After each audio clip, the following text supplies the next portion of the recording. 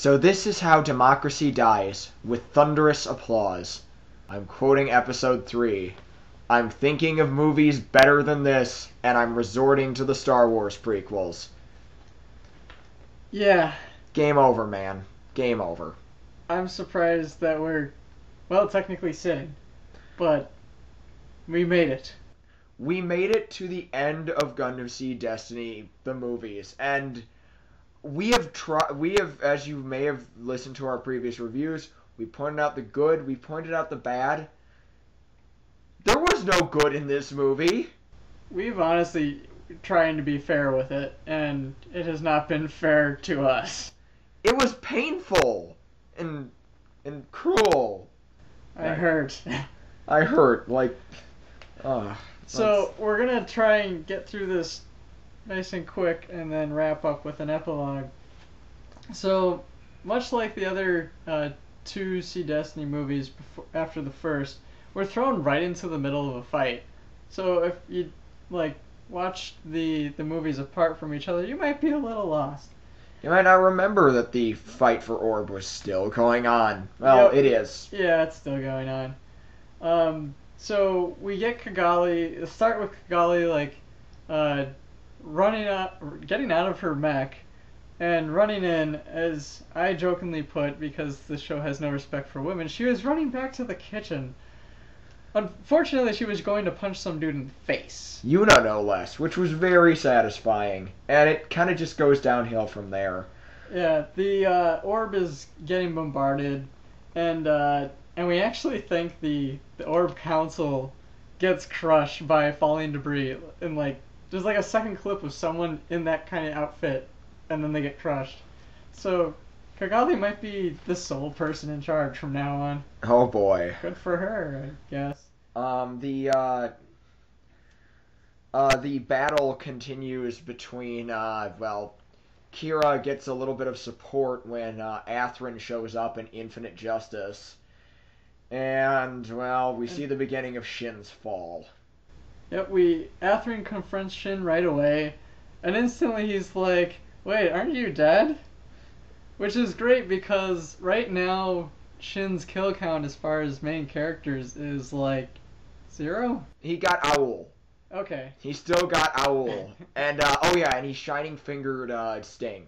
that's true. So the extendeds, he's at a uh, pretty good death rate on the extendeds. two for three, and the third one, well, he was involved in that. He was involved in it. He's not too proud of that one. Not though. proud of that one. So, uh, Athrun, of course, asks Shin, like, is this what he really wanted? Because he's in Orb, he's blowing the place apart, and and Athrun's trying to call him out on it. Uh, in the meantime, uh, Yuna actually kind of gets away from his guards, only to be squashed by A goof, a falling goof, just crushes him. Couldn't have happened to a nicer guy. I know. That was satisfying. Darn shame. So um, then Ray shows up to break in on Athrun and Shin's conversation. With more or less, how dare you think about something that I don't think about? And, and we keep getting Shin thinking about uh, something that Ray told him about how you can't, you don't have the ability to protect anything. And little flashbacks to everyone that he's ever failed to protect. Which always pushes him over the edge. And, uh, Shin bef- tries to go Mad Dog, but is literally disarmed by Athrun. who can finally fight again. It's been a while. Yeah, I don't know if he just he left his like piloting skill in the cockpit of justice, but having it back has made him really good for some reason. Whatever. And and in the middle of all of this, uh, Djibril, the the actual guy that uh, Zaf came to get, it actually sneaks out and launches up into space. Luna is sent to uh, take him out. Good idea, guys. Um, Maybe if they sent out the impulse in full you know, instead of in separate parts, she would have gotten there faster. Yeah, maybe Who she could have, you know, launched as a Gundam instead of having to do the combination sequence, but she does. It's in her contract. She has to have that anima- animation at least six times per movie. And more impressively, she manages to fly faster than the uh, Murasame units In plane mode. in plane mode, which is odd. Whatever. I don't even. Well, needless to say, Djibril actually makes it all the way to space, and uh, and Talia, the captain of the Minerva, uh, does the nice thing and orders her forces to retreat, quote unquote, because they were there to find Djibril, not to wantonly promote war in Orb. Which, Which, is uh, disappointed uh, D- uh, Durandal, though. yeah, he was kind of hoping they wiped the place out. Uh, af- after the the fight is all over, Cagalli goes on the air and makes a statement about uh, the past events. Or at least she was going to make a statement until she gets interrupted by Double D Lacus. Yay, the fake Lacus talks on and on about how they're using child soldiers and despicable means, honestly, like their own army that she's supporting. Let's say we, we were talking about the Minerva crew in a previous video.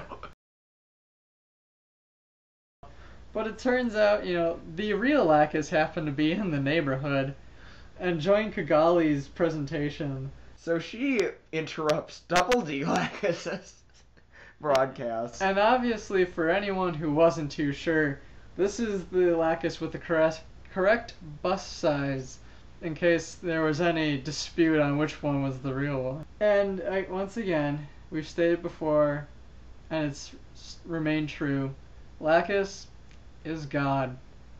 Ev- Faithful uh, are our sheep. sheep. Everyone just is like, oh, it's Lacus. We should listen to her. Which one's the real one? I don't know which one to blindly follow. Actually, people's crisis. The saddest part of this has got to be that among the people reacting like this is Shin, who is not only always um, attached to Luna now, but is asking Ray how to think. This is. I think we could start here with our signs of the apocalypse, because obviously it's gotta happen in this movie. Ray becomes the go to guy for anything. Everyone. I can't even say looks up to him as much as just blindly follows everything he says. It's true. Um, there's nothing that the other characters even in Zaft even like think about anymore. Aside from uh, Gilbert, of course, it's just, hey, what does Ray think? And then Shin and Luna follow it. Uh, I'll go with what Ray says. In fact, that's a line later on that Shin gives. It, it it's just very frustrating. It, it's a, you know, the last video we were talking about kind of how the dynamic was shifting from Athrun as the uh, mentor character to Ray, and the difference being that Ray isn't a mentor. He's got these guys under his spell essentially they just do what he says and have lost all characters of their own. Mm-hmm. Um, Character assassination, it's pretty much all over in this movie. There's everyone has just been reduced to their most base forms. Everything that we liked about Shin is pretty much gone now. He's just Ray's puppet. which is great because we're about 10 minutes in and that happened. That hurts. Um, and then we look at other characters. I mean, Kira and Lacus have been elevated to demigod status. Everything they say and do is completely right. Scripture, even. And God, do they preach. They're, they're, we see them at least three times give sermons on their ships to, to their crew, which is great. It's preaching to the choir. And, and I mean, everyone just sits there and listens to it. They just take it. Don't question it. Lacus is God. But uh, speaking of assassinations, we get Meer, who's slowly realizing that Athrun was completely right in saying that as soon as she's completely useless to Durandal, he's gonna get rid of her. And what do you know? As soon as uh, makes the broadcast, Meer gets shipped off to space. So in the meantime, Djibril uh, made it all the way to the moon, and has set up there with the last of the Logos team, which was you know uh, I- like an Earth Alliance. I guess was as- the Earth Alliance. I'm I not sure. They have the out like the uniforms. they have the uniforms and the mobile suits. So we'll just say that We'll they just are. say that they are on the moon. That's fun. And um, and they decided to use their giant moon cannon. The Requiem cannon, the most completely overly complicated super weapon I think I have ever seen. Now, it- it's one thing to make like a super cannon in the moon. It's another thing to make a super cannon on the dark side of the moon. that fires and then you have to redirect it through colony cylinders. Like five cylinders they had to redirect this thing through. It was very silly. And uh, well, they decided to take their first shot with it and attack the uh, the plant's capital. Uh, was it Aprilius. Aprilius? And uh, and once again we see a very stunning, powerful, destructive scene with people just uh, like civilians dying in the millions, most likely. Oh, It's like you said. This show is good at if this show's good at one thing, it's tearing things apart. Got it? Alright. Yeah. See what we did there? Okay. We're so, clever. Uh, this was also like one of the first times we see Durandal show more emotion than a blank face. And so we first see him get shocked, and then we see him pissed. And He's- that's very interesting. His facade is almost completely gone at this point. He's just like, get rid of that thing now. I am angry. And so they launched their full scale assault on the moon. So it's the Earth Alliance, uh, being led by the Logos team, specifically Djibril, versus the plants. The uh, Minerva manages to get to space really fast, incidentally. Yeah, they do. Yeah, this fight goes on. Uh, uh, and honestly, th- this is part of this last movie that it kind of hurts us to say, but we didn't care about the fights in this movie. These battles are completely uninteresting. I don't know what it is about them, but there's no stakes. It. I mean, even when with I uh, clearly there are stakes, but it doesn't feel like it. I don't even care. like we see you know hundreds of ships getting blown up and suits and everything but we never actually get to see like how the loss of said ships and suits affects the the military unit as a whole. We Mhm. never hear anyone panicking about like, oh, the fourth wave just got wiped out. It's not like Macross where you're down to only the Skull Squadron. Or like uh like in uh, the original Gundam when uh when Gihren fires his uh, colony laser Mhm. and then the fleet goes into a panic and then everyone has to rally around White Base. Like that was really scary. And we have, you know, another giant space cannon wiping things out.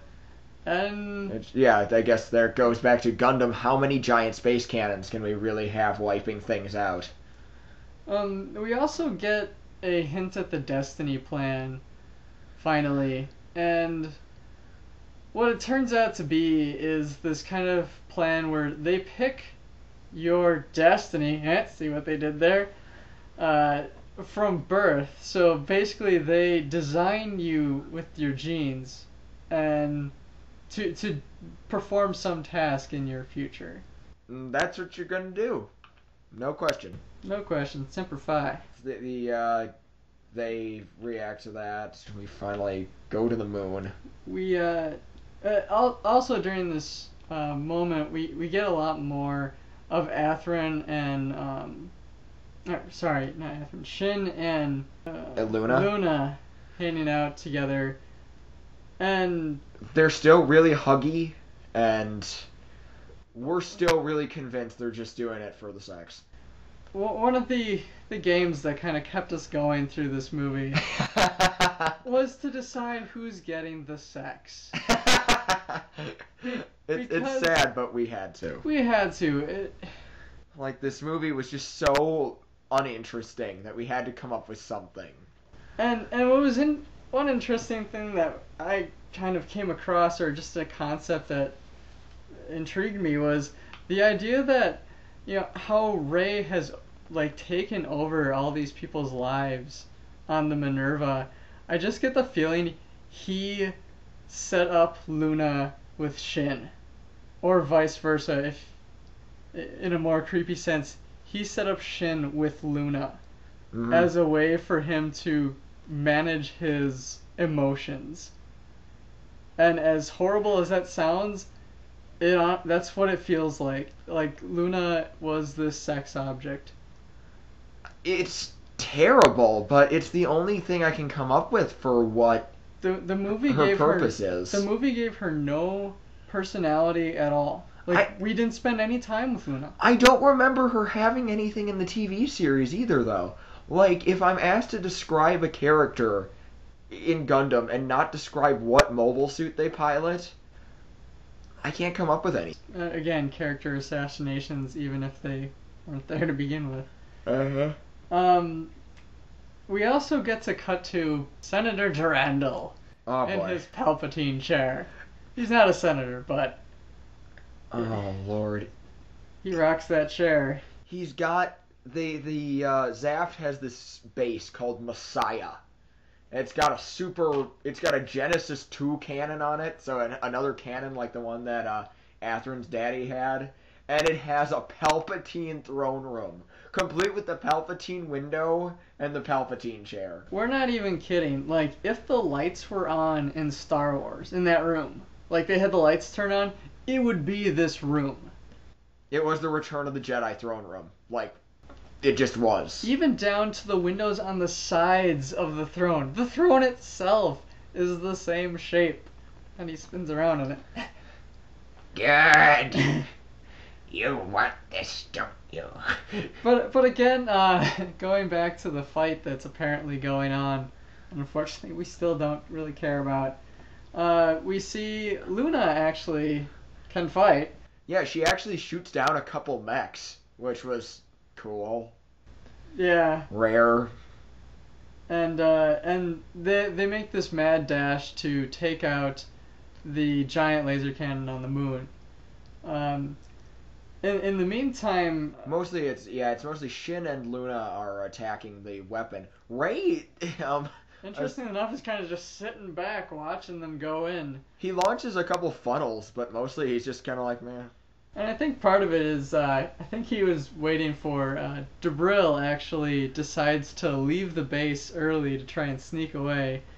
And in fact, in the ship that Neo Roanoke started out the movie, like the original episode It- one movie. Yeah, remember when we were talking about how that thing just disappeared? We found it. It finally came back. It was hiding on the moon. Not for long. Then it gets blown up. Djibril gets DBZ'd. Just like phased out. Like if you've ever seen anyone get hit with the spirit bomb on uh, DBZ, that's pretty much what happens to him. And, Not uh, even kidding. And then they all live happily ever after. Honestly, I don't even remember if they they didn't blow up the giant cannon. They didn't blow up the giant cannon. They just declared victory They just declared victory because they blew up Djibril real good. Yeah, and it was like that was the end of that fight. That giant climactic fight between Logos and the plants. Oh, you know what we forgot to mention? There were more mass production destroy Gundams Yeah, that got taken out. because that you know made them you know more worthwhile. I I don't even know why they bothered. I really don't. It was, it was just like, oh, more destroy Gundams, and well, that wasn't threatening Yeah, they've at all. got goofs in space. So after all this has happened, um, Orbs decides to help Archangel get back into the fight. So they've got their troops all, all uh, you know, rallied up to to form the uh, the three ships alliance, which was formed by the Archangel crew. hmm The Kusanagi and the Eternal originally. Yeah. They send a bunch of Kusanagi class ships with them though. Or well, things that look like the Kusanagi. I don't remember what class they are, but whatever. There's also continuing with the character assassination, and we're not sure about this one. We'll get to it by the end in more detail.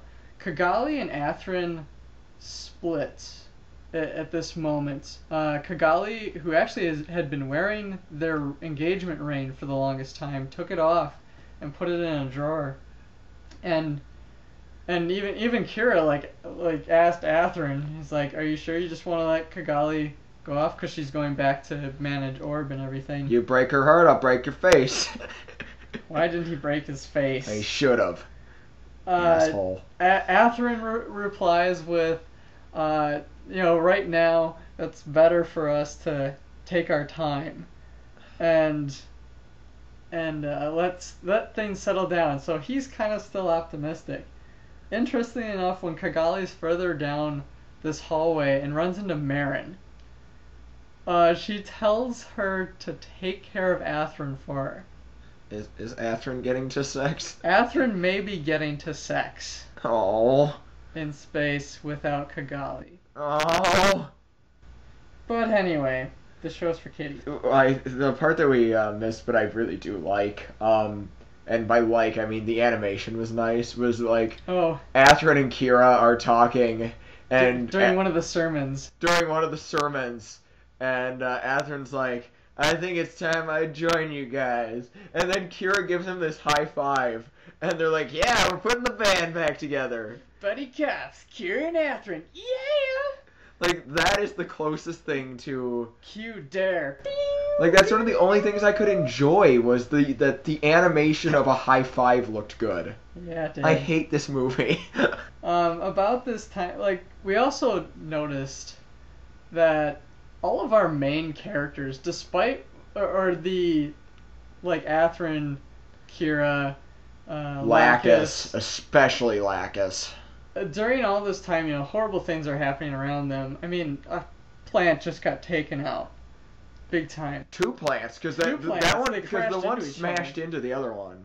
Again, they're really good at tearing things apart in this show. They always, the that crew always has this self-righteous, happy look on their face. Uh, we're gonna fix everything soon. No worries. We've got God on our side.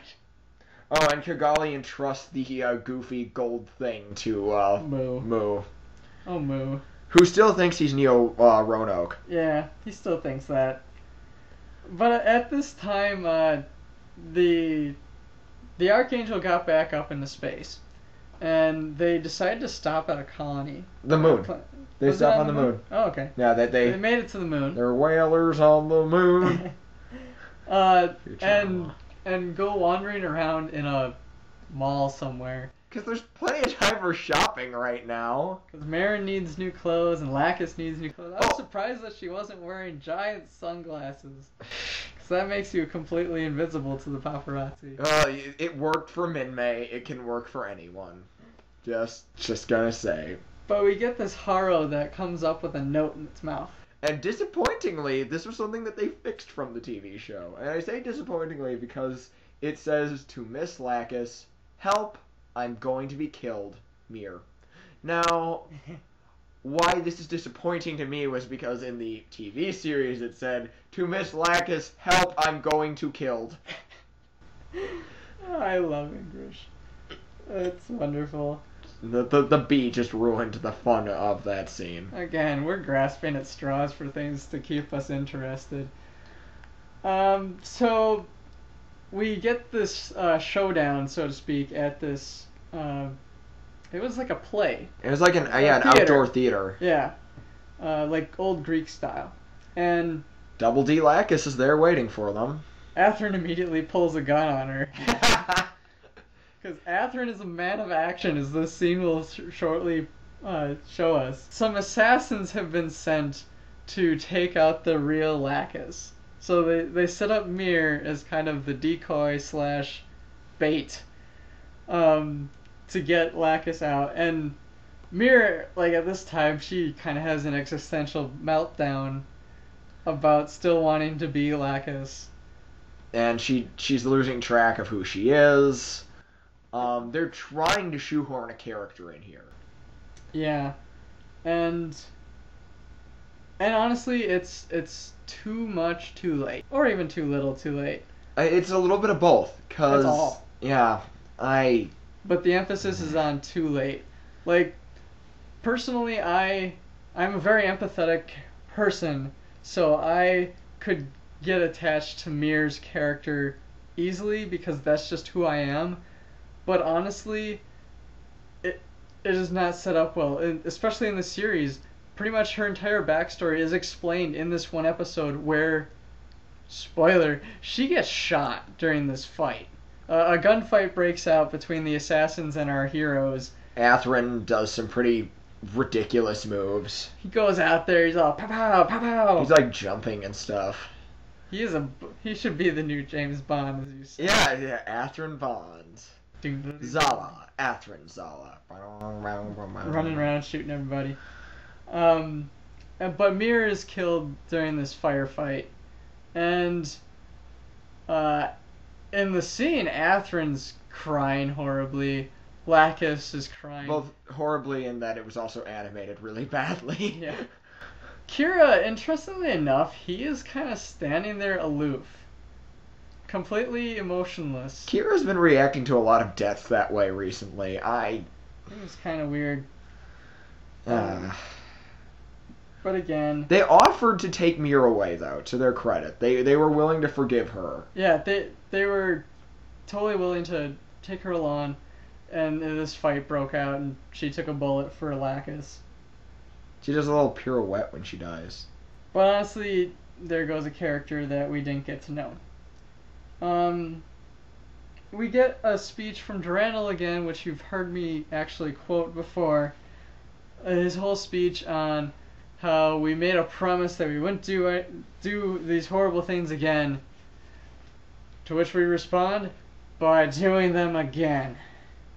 So his plan is he just makes the Destiny plan clear to everybody and starts like, hey, you can sign up to have your genes uh like uh qualified for what you're good enough to do and that's what you're doing for the rest of your life. And and it's interesting, like a lot of people are shocked by this plan, especially the people in his own army. The Minerva crew, for instance. The captain, who has been sleeping with this guy. She was getting to sex from him. And- And she gets this plan, she's blown away by it. She has no idea what to think. Uh, everyone else, Shin, of course, goes to Ray. He's like, what what's the chairman thinking? Of course, Ray responds, uh, like, you you know what the chairman was planning all along. He he's been telling you all about this, you know, dream world that he hopes to create. To which we respond in place of Shin, well, he gave me a suit. I kind of didn't listen to anything he had to say. which I was just happy to get a new suit. which amazingly the animation then actually cut to the scene of him getting the new suit. like the kid in the candy store. He was not paying attention to a word Durandal said. It was great. So now Durandal's plan is made public to everyone and we get some more preaching, I think. Yeah, a little bit more. We find out a lot more motivation on Ray's part. That he is in fact a clone of um, Rau Le Creuset. Bum bum bum. Not that he looked exactly like Right. Rau, so not really surprising. Well, then he wouldn't be a very good clone, would he, Mr. Izumi? I'm just saying, not not a huge shocker. And he he started popping pills like Rau, which he has not done before now. So that this was is the first time we saw him do that. that was silly. Yeah. Um, And he gives this big speech to Shin about how being a clone, he, he has a shortened lifespan. And so he's trying to create this dream world with Durandal so that, you know, su- suffering and all these bad things don't have to happen ever again.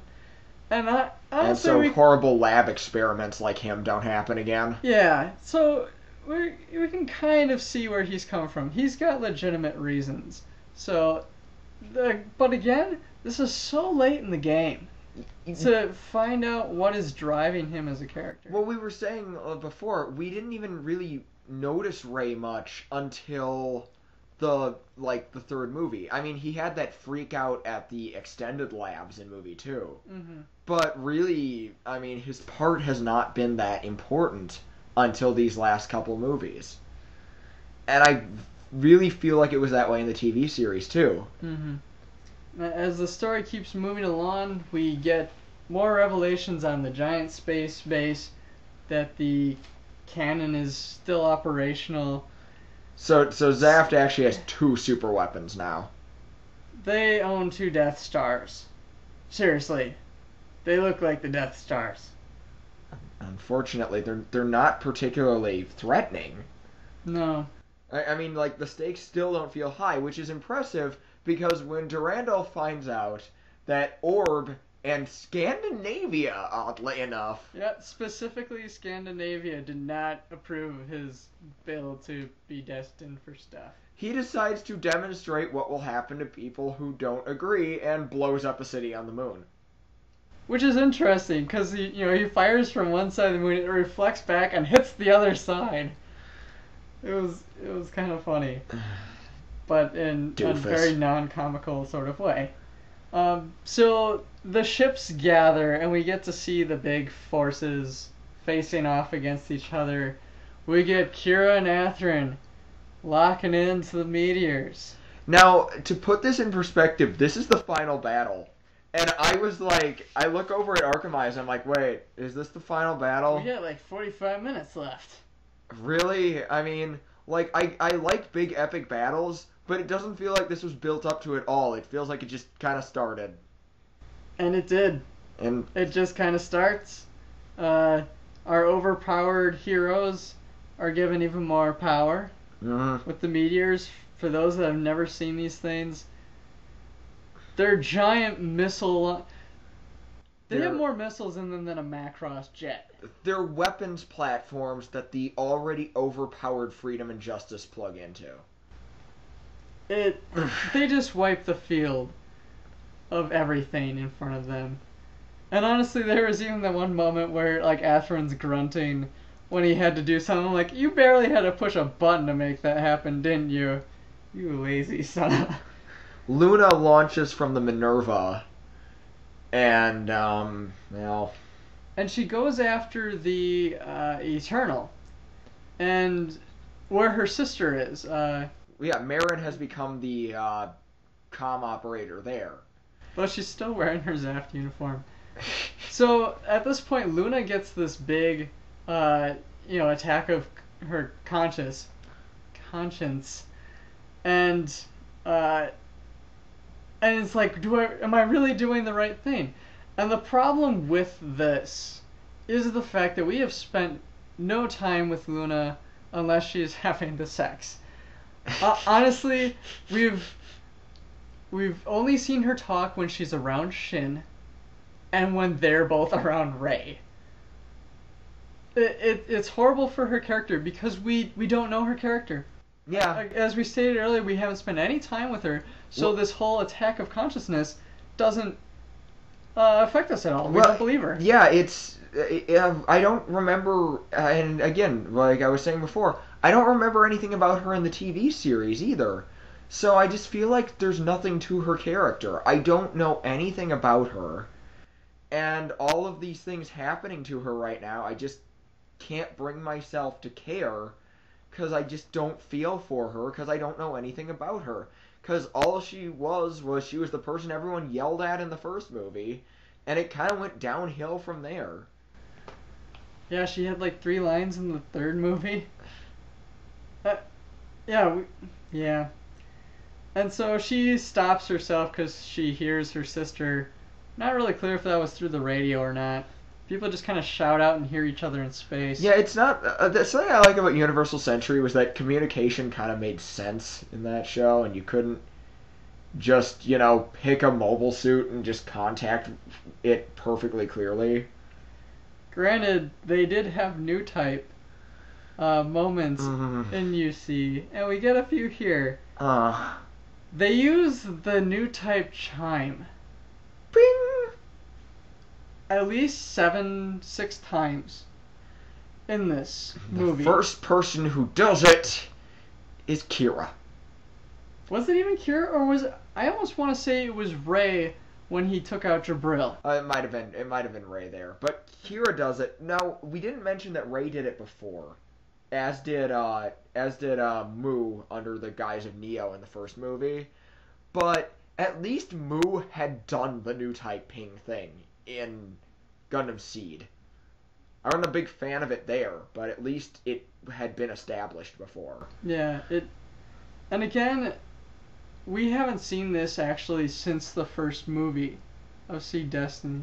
Or if it if we did, it was once and it was glanced over. The how many times it happens here is just so distracting.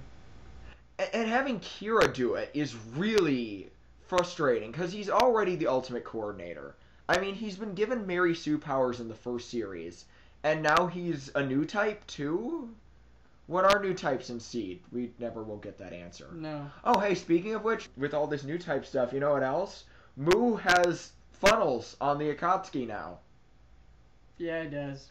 I- Like, see, all this stuff gets thrown at us in these last couple battles out of absolutely nowhere.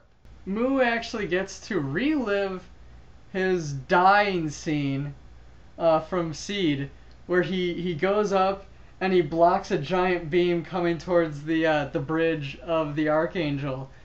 And it's great because it's like he remembers the moment when he died. And I was I think- kind of waiting for him to call, hey, this really is BS. Hey man, I really did die. Who'd have thunk it? Man, maybe I should just blow up here. No, he doesn't. No, he doesn't. He just takes out the uh, Minerva's main gun Told you I'd instead. make the impossible possible. Shut up. You're dead. I'm not dead. But again, uh, the rest of the, the rest of this fight is supposed to be huge. But it doesn't feel huge at all. huge. Um, it's going by too easy. It is really what it comes down to. Like, Zaft had the overwhelming advantage, and the Three Ships Alliance has shown up, and they are just. plowing through them. Zaft doesn't have any adequate defenses. Are, are we at the merry-go-round? Is it. We are we are right at the merry-go-round. um, we we've given this affectionate nickname to the sequence of final duels that we get here, and uh, we don't agree with most of the setup. Okay, so we start off, and I was writing these down as fast as they were happening. We get Kira versus Shin. The Okay. battle that we've been wanting. Athrun versus Ray.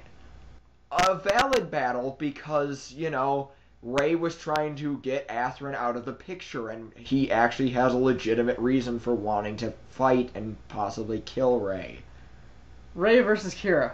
Suddenly that comes in, and it's like, wait, wait, wait, what? There's no reason these two should be fighting.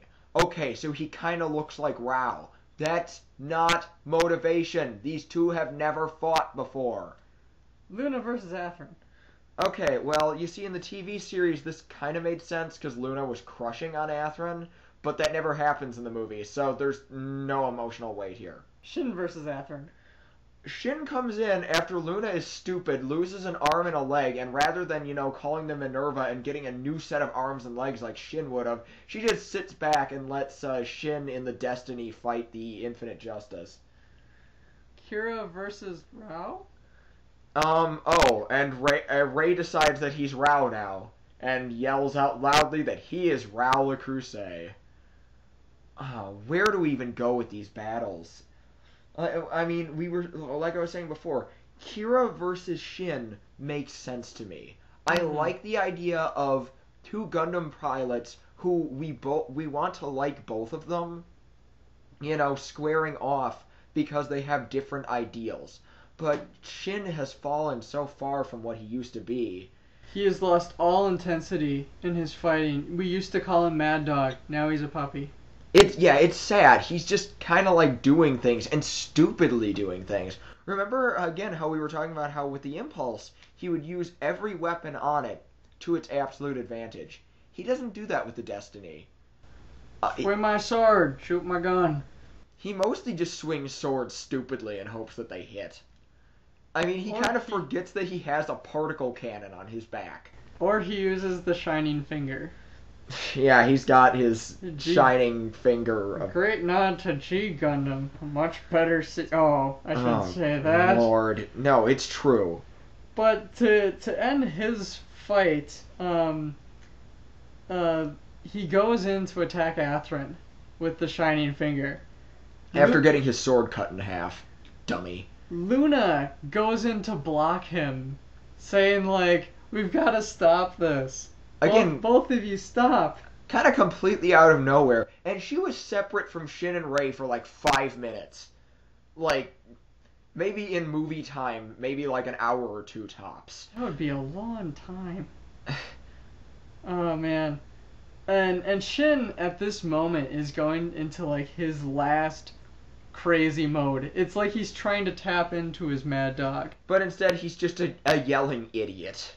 And he almost kills Luna. Honestly. Uh, thankfully, Athrun does a spin kick, uses the blades on the heels of his suit, and takes Shin out. Uh, Not before Shin tries to catch Beam Saber blades.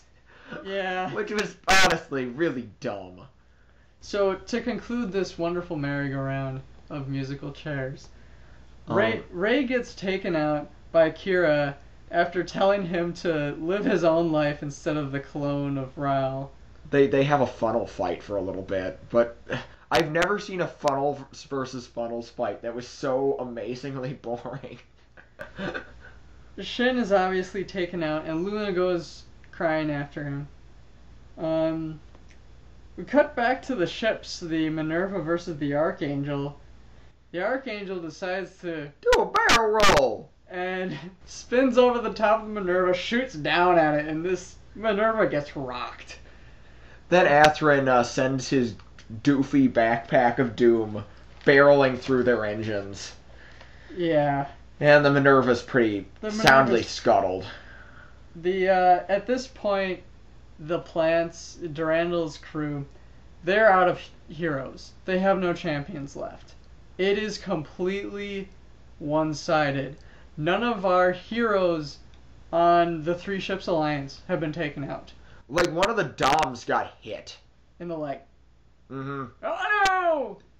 The the thing that really bugs me, I mean, like I was saying, no heroes when we were watching the movie, but as the fight continued, there weren't. It didn't even look like there were any other mobile suits on the field. True. Now it, it's like just the the three ships alliance against the super weapons, and those don't really put up any a fight. They're pretty easy to dodge, apparently. Um, Mu and uh, Athrun take out the uh, the Requiem cannon on the moon, and Kira jumps in a meteor and just dismantles the Messiah like it's nothing. And Durandal's like pretty pissed at this point. Uh, at the same time, Shin kind of parks himself on the moon, and Luna, uh, he, he has a, uh, a kind of new type moment where he sees Stella again, and she keeps telling him that she'll see him tomorrow, And I'm not sure what that means because he he lives. and she does not. But, um, Maybe she means like tomorrow is in the future. I'll go with that. hopefully, the um, the other thing we noticed during this new type scene in particular, well, probably because he's naked, is the uh, he's getting ghosts to sex. But uh, the the thing we noticed is that he looks younger. Like he looks super young. he looks really young. like younger than Banagher in Unicorn, which is weird. It like drops him from about 16, 17 to about 14. He actually looks kind of like he did during the flashback at the beginning, or at, of the well, in the first movie. I want to say at the beginning of the show, but we didn't get that at the beginning of the movies. Um, Mhm. of when his family died. Yeah, That's kind of what he looked like. it, it he just looks so young, and maybe that's the movie's way of saying showing how much he's reverted. I don't know. That's giving him a lot of credit. I don't know. He wakes up. Luna's there with him, and they cry on the moon. onto each other. To sex probably would have followed, but they're in space. So You know, I, I imagine the Shin from earlier in the series, like waking up, seeing Luna there, shaking off, and then asking to take Impulse, then, you know, jumping in the Core Splendor, and yet again, getting a new, like, top and leg unit, and continuing the fight with Impulse. But not this Shin. He's just so housebroken. He's he's a puppy. Oh. I again, we've established that Impulse has these extra parts. I don't know why we're not using any of them. Because the show's ending.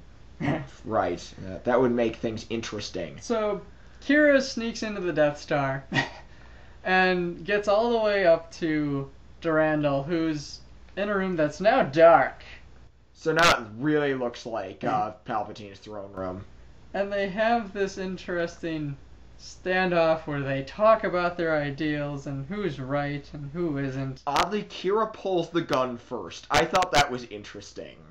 Yeah, it, it's it was also interesting with Kira shooting guns outside of his suit because honestly he'd be shooting to maim if he stuck with his normal habits of shooting limbs and stuff. That's kind of disturbing. yeah. But um Athrun also gets out and tries to follow. honestly, Athrun's the last one to show up because before Oh yeah, that's right. before him Ray shows up, and then Talia, uh, the captain of Minerva, had her ship abandon crew, um, had her crew abandon ship, and uh, then came after Durandal. Kind Uh, of like she's been a really good captain up until now, and then we get this better than Murrue. a lot better than Murrue, and now suddenly she's just stupid. I don't know what happened, but she became stupid.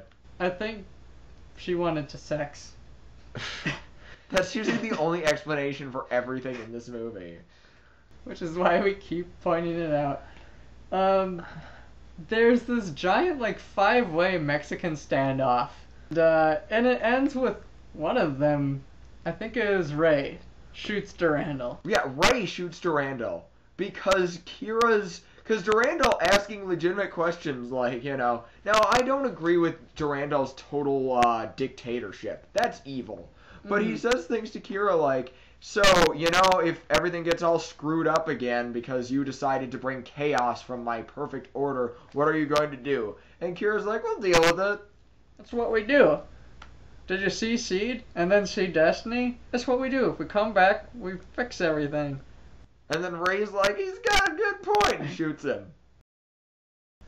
And Ray has this existential meltdown. Uh, He's crying. he's crying.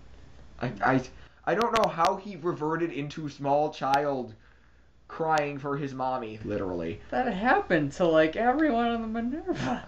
But yeah, think of it. Athrun is just standing there. Like, why he even came in is completely questionable. Especially since in the original Seed Destiny TV series, in the original cut, Athrun was not there. We should clarify that Seed Destiny has had three endings now.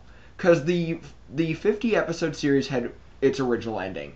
That ending was considered so Bad. displeasing to the fans. It was so bad that they actually made an hour long director's cut episode called Final Plus, where they made really weird cosmetic changes but didn't change the overall ending of the movie. Athrun, the big difference is are that the fights last a little longer and Athrun comes in with Kira.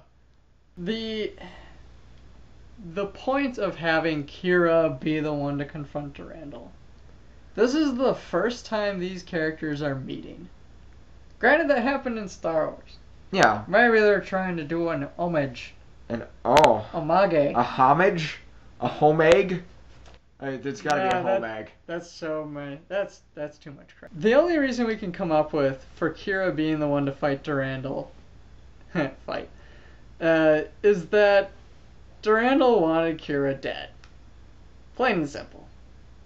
That and even that pl- in the movies, that plot point isn't really followed up that well on. Because I mean, it's even worse. Because in the movie, we have the scene of Durandal being like, "Yeah, Shin is perfect to be my Kira killer," and then after uh, Impulse takes out the Freedom the first time, he never follows up on that. You know, send in the Destiny to take him out.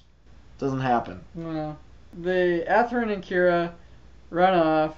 Uh, right, uh, Talia goes up and is you know, cradling the dying Durandal. Suddenly, she's suicidal for some She's reason. She's like, I want to die with him. Ray, come over here. You poor boy. Now, rather than stopping this insane woman and this man child from letting themselves die with this bleeding dictator, Kira and Athrun just leave. She had a gun. I get. I, I don't even know anymore. This hurts. uh, as a last request, and it never pans out to anything, is uh, the Cap Talia asks uh, Kira and Athrun to tell Murrue to look after her son, who we've seen twice in the same animation as a picture that she keeps in her pocket. I'm actually convinced that her son is actually dead, and she is speaking of a grave somewhere. I I have no But- idea. But again, uh, this is never explained or explored. Like every other good idea in this series, we get a lot of exploration of the stupid ideas. That's for sure. So, uh, you know, Athrun and Kira make it out of there. Place is blowing up. And we get a nice, actually, conclusion for the battle. Uh, in the original cut, it was we ended with Kira like flying out of there. Yeah, we, we see Kira flying out and roll credits. Woohoo! That's it. We saved the day. In in this version, we get to see the ship's uh, Lacus making the call because she's God and everyone listens to her. That uh, we've won the day. We are withdrawing, and everyone else should do the same. There's an admittedly pretty scene of um, as Lacus's song "Fields of Hope" plays in the background. Um, the ship starts sending out signal flares, and you see um, the flares going up from the perspective of Luna and Shin on the moon, and it's like fireworks. And uh, their reaction is they're still like really sad about the whole losing the war thing, and we're still really sad about the whole this movie thing. And so it's like that's my consolation. You get fireworks. Yeah. Thanks. And now the movie itself, it has an epilogue. We'll get to our own in just a moment. Uh, and we get to see uh, Meyrin, Luna, and Shin are going to visit uh, a grave, The the memorial site. the for memorial war. site for the war. And uh, and they're placing flowers there, and and and they brought back something that we were so happy that they got rid of. It was Shin's sister's cell phone. Uh, He obsessed over it in the TV series, to to the extent that it controlled him and it it hurt him so much that he could not get past it. Remember how we were talking about how cool it was that it wasn't really in the last movie? They just shoved it in our face a lot in this movie. They brought it back, like blue jeans or something. I don't know. Ugh, this epilogue sucks. So then, uh, Kira and Lacus show up, and and to place their own flowers, and Athrun actually introduces Shin to uh, Kira. Now the first time they met was at this memorial site, but they Shin didn't know who Kira was at the time. And for some reason he didn't recognize Lacus, I don't know. He's dense. You must not be very religious. And uh, I, I, I thought it was an interesting moment, uh, kind of thrown in too late, again. But Too late in a Destiny movie? I No. know. But uh, I thought it was a neat moment because now Shin, you know, realizes this is the guy that he wanted to kill, and it's just the one dude that he ran into one time. Uh, so, a fun idea, not greatly executed. They shake hands in the end, and a- after they offer Shin a job. Well, we wanted a crazy guy on our team, so you want the job? We're gonna go out and kill some more people. I don't know. What's there left to do? Um, actually, we are, we get that answer during the closing credits. Yay. Well, we should. I guess we should talk about the way that they exit before closing Yes. credits. Um, now again, there there are six of them, uh, three boys, three girls. So we see Lacus and Kira, obviously, you know, kind of snuggling. Because they're a Walking off. perfect couple They're the perfect couple forever. forever. Then we see Athrun and Meyrin walking off together. Boo! Now, this leads us to believe but not want to believe that he has given up on Cagalli. Boo! Horrible because they had amazing chemistry and no reason to split up. They had one of the only well-written Gundam romances. Dear God. Gundam Seed Destiny is really good at tearing stuff apart, isn't it? Including homes. Apparently. We like to, at least I'm going to say, he was just giving Meyrin a ride home because the last pair to leave was Shin and Luna, and we all know that they were going to have to sex, Oh, totally. which Meyrin probably didn't want to be part of. Hopefully? well, I can probably find you a dojin that says otherwise, but... um, Internet is for porn. Uh, also, as far as people shacking up with each other, uh, at the beginning of SEED Destiny, we had Waltfeld and Murrue living together. We commented on this earlier, that they were like developing a, a decent relationship. Well, now Waltfeld is sitting at his place, and we have Murrue and Mu. it looks like they're at the same place! It's like Mu and Murrue are moving in with Waltfeld, who I feel so bad for that poor guy. Because now he's alone with just his coffee. And maybe DaCosta. And, and the only, again, possible love interest in his life is with some other dude in the same house. Oh man, that's gotta suck. That could be a more compelling story, that's for sure. Oh, He had four lines in the entire four movies. yeah. Poor And he's and you know what? He stole Stella's Gundam and nothing ever comes of it. We never see that stupid thing again. Yeah. Ah. After that, uh, Cagalli is running the show at Orb. Uh, we see Kira in a Zaft uniform. Yeah, so now Kira has served on every military in this universe. That's weird. He's a player. Athrun is, uh, on the other hand, has switch to the Orb uniform. It's like they Though he doesn't seem to be st- spending any time in Orb. I don't know. silly, and and Shin is still in his uh, dress reds with Zaft. Um, he and Luna make it to the this big old shindig. He's allowed to sit with the cool kids, so Yzak and Dearka are there. You know. And uh, and we finish with like people bowing as Lacus walks down this aisle to the Plant Supreme Council. So I think we can conclude this with Lacus is God, people are sheep. Dictators are bad unless they're Lacus. Unless they're cute. What was fun though was that like so Kira shows up like leading the military entourage, and Lacus is there like outside the chamber waiting for things to start, and then she runs up and hugs Kira, and everyone looks shocked and terrified that the leader of the military is shacking up with you know the leader of the of the political side of things. I mean, I think that's scarier than Durandal's Yeah. plan. And this is what they leave us with. This is the official end of SEED Destiny. Thank God. I, I just don't even know how to begin here. There are no more uh, Zeon mobile suits of the week, though. There's nothing else. I think we're just going to. We're going to record an epilogue. And, uh, With our thoughts for the entire series, both as where it stands in the Gundam verse and other things about it. and its value to pop culture. But for right now, I think it's safe to say this was the worst of the movies.